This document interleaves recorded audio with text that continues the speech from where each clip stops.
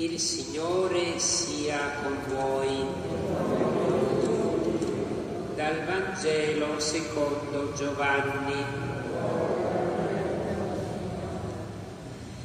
In quel tempo Gesù disse a Tommaso, io sono la via, la verità e la vita. Nessuno viene al Padre se non per mezzo di me. Se avete conosciuto me, conoscerete anche il Padre mio. Fin d'ora lo conoscete e lo avete veduto. Gli rispose Filippo, Signore, mostraci il Padre e ci basta. Gli rispose Gesù, da tanto tempo sono con voi e tu non mi hai ancora conosciuto, Filippo. Chi ha visto me ha visto il Padre. Come puoi tu dire mostraci il Padre? Non credi che io sono nel Padre e il Padre è in me? Le parole che io vi dico non le dico da me stesso, ma il Padre che rimane in me compie le sue opere. Credete a me io sono nel Padre e il Padre è in me. Parola del Signore.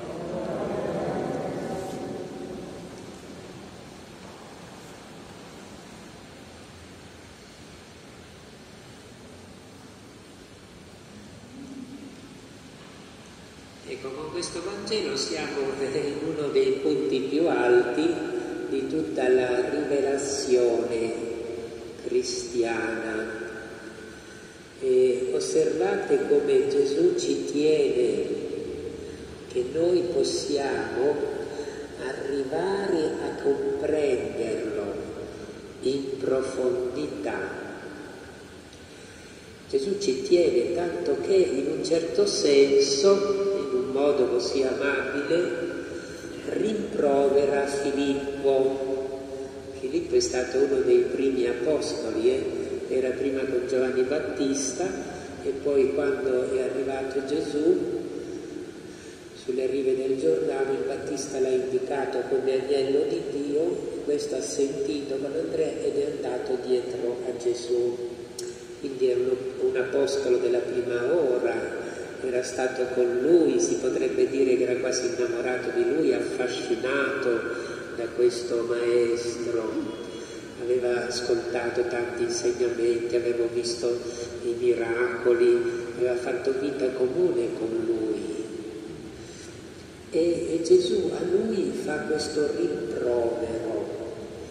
Filippo, sono da tanto tempo con voi e tu, perfino tu, non mi hai ancora conosciuto che cosa si riferiva Gesù? Non è che Filippo non lo conoscesse nel senso umano, lo riconosceva tra mille e anche come profeta, come un uomo fuori del comune, un predicatore affascinante, sicuramente Filippo era convintissimo di questo, aveva lasciato la sua famiglia per questo, però Gesù si riferisce a una conoscenza intima di Gesù, profonda dove c'era la sua unione col Padre, la sua straordinaria intimità col Padre, il suo potere di rendere presente nel mondo il volto e l'amore di Dio Padre.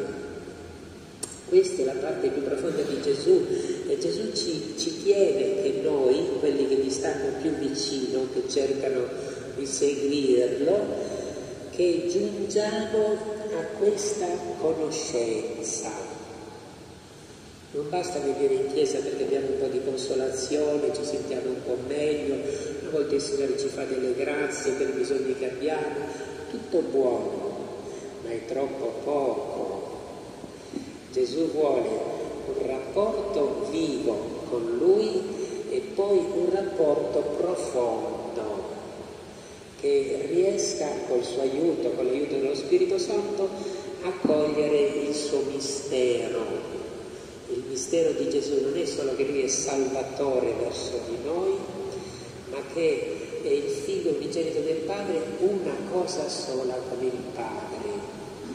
Questa è una cosa bellissima perché poi permette a noi, permette a noi di sapere e di sentire che il Padre di Gesù è anche Padre nostro. Questo è il cuore della nostra fede. Il Padre di Gesù è anche il Padre nostro. Quindi conoscendo Gesù intimamente nel suo mistero, noi arriviamo a conoscere che Dio è nostro Padre. E questo è il più grande desiderio di Gesù. Gesù vuole che quel rapporto speciale che lui ha con Dio Padre diventi anche il nostro. E nel canto che abbiamo fatto eh, c'è questa bellissima richiesta, abbiamo detto all'Eterno Padre, fa che vediamo il tuo amore, vedere l'amore del Padre che si manifesta a noi attraverso Gesù. Ieri Gesù anche nella messa, nel Vangelo, ci ha detto che se noi siamo uniti a Lui, la nostra vita porta frutto. Stamattina all'inizio del Vangelo ci dice che lui è la via per andare al Padre, nessuno va al Padre se non per mezzo di Lui. Ecco perché noi dobbiamo eh, fare di tutto per diventare cristiani, nelle parole ma nell'esperienza personale profonda, perché solo attraverso Gesù, attraverso la fede in Lui, si apre a noi questa porta dell'amore di Dio Padre che poi fa rifiorire tutta la nostra vita. Diciamo a Gesù questa preghiera ispirata dal Vangelo che abbiamo ascoltato. Signore Gesù, perdonami se finora non ti ho conosciuto come l'Apostolo Filippo. Non ti ho pensato nella tua unione col Padre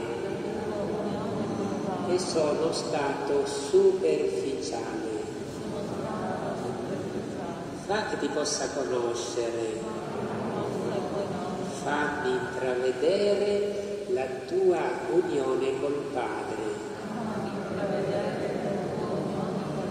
e ammettimi alla sua presenza.